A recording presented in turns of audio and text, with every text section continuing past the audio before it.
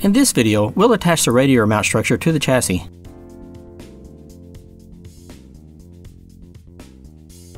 Place the lower legs of the mount structure under the bottom square tube. Loosely install two of the 3 4 inch long screws and washers from the K22H bag. Install the remaining 3 4 inch screw into the upper passenger side mount. Use the 1 inch long screw and washer from the bag to attach the donor car's horn and upper driver's side mount. Tighten all of the screws with a 5 32nd Allen wrench.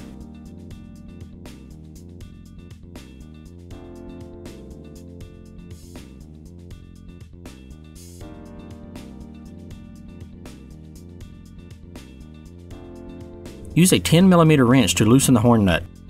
Turn the horn to where the opening points toward the ground and the connector is toward the passenger side.